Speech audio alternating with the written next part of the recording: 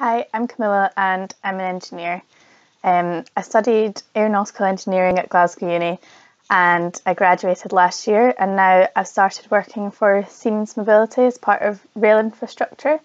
Um, so I'm a graduate at Siemens and the project which I'm working on at the moment is Crossrail. So you might have heard of Crossrail as it receives a lot of publicity um, in the media, but if not, it is the new Elizabeth line, which stretches over 100 kilometres from east to west of London, um, with over 42 kilometres of new tunnels being built and 10 brand new stations which have been built from scratch as well. Um, so it's a huge project, and it's estimated that around 200 million passengers will use Crossrail each year, and it will increase the capacity of London's central rail, central rail network by 10%. Um, so my my job uh, working on Crossrail is as part of dynamic testing as test engineer. So this involves um, the physical running and the testing of the trains and the signalling system on the routes which Crossrail will run on. So the purpose of this testing basically is to identify and to fix any bugs which are in the software um, that need to be fixed before we go into the next stage, which is trial running, where we run trains to timetables and schedules. Um, so the the software which is on board the train, which is um, made by Siemens, um, is um, it has automatic train operations, which means that the trains can um, basically drive themselves and stop accurately at platforms without the need for um, a driver to drive the train. Um, so it's a very complex process of designing the system and then testing it very rigorously to um, make sure that it's safe and it runs um, efficiently and reliably. So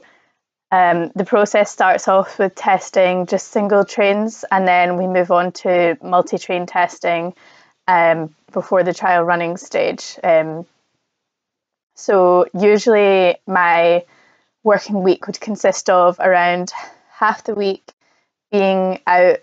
on the trains and actually doing physical testing, and then the other half of the week we go back and look at all the testing which is uh, being conducted and analyze any faults um, and how we can fix them and then update the software accordingly um, for next release. Um, so yeah, it's a big goal of the UK rail industry as a whole to make the rail network um, a digital railway um, rather than the the old school traditional kind of railway system that we have at the moment. It's going to be more a lot more digital and based on automatic train operation, which makes the whole network um, work a lot faster, be more reliable, and there's not as many faults which need to be fixed, and we can also increase the frequency and capacity of trains as well. So um, for Crossrail, the design process is very lengthy and there are many factors which need to be uh, considered from start to finish, from, from the paper, from the idea on paper to reality, which we're not at yet, but we're nearly there. Um, so a lot of these factors include environmental impact um, and potential constraints which um, it may bring to people who live near where the construction is happening um, or work near where construction is happening, um, and other stumbling blocks and constraints which we just come across as the process is going on. Um, so, obviously, the construction of all the tunnels um, and all the stations and everything that's needed to connect the network is a massive job and we need to consider about the methods and materials which we use to construct everything from from the tunnels, trains and stations um, and the best the way that we can best do this to minimize environmental impact um, and have the lowest carbon emissions that we can, um, as well as making sure that the whole railway will be reliable and efficient for many, many years to come because obviously this is a really expensive project and we want it to be have a lot of longevity. Um,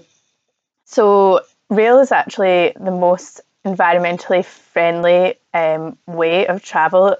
um, that's possible, both for um, passengers and also for transporting cargo around. Um, so you may have heard about recently that the government have given the green light on HS2, which is the High Speed Rail 2 project. Um,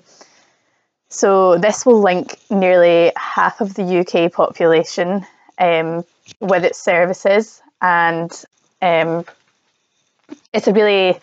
it's a big and exciting project, but it's very demanding. Um, but it will provide many, many people within the UK with much faster and more reliable journeys, um, giving them more options about where they can live and work.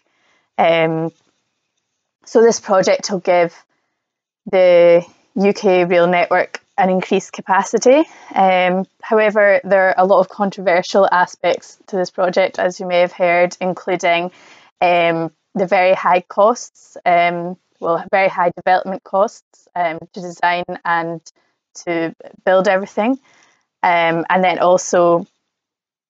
um, potential harmful environmental impacts such as the wildlife and the habitat which it may destroy, um, as well as people's homes and um, where they work. So my idea of a project to you is to consider where in the UK would benefit from a new or improved railway network, um, how you could improve connectivity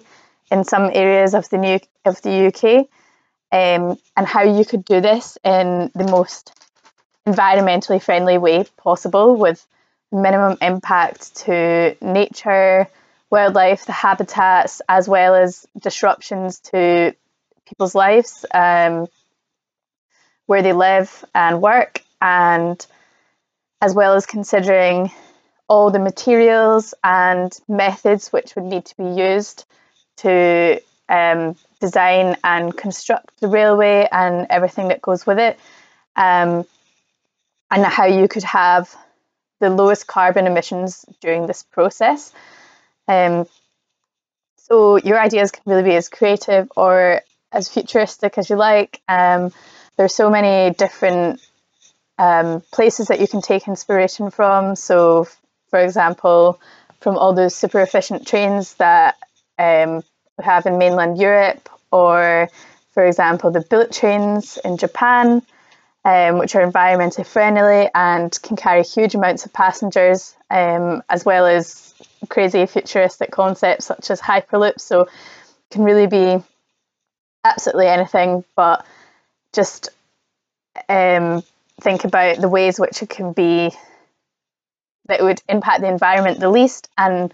at the same time bringing as much benefit to as many people as possible.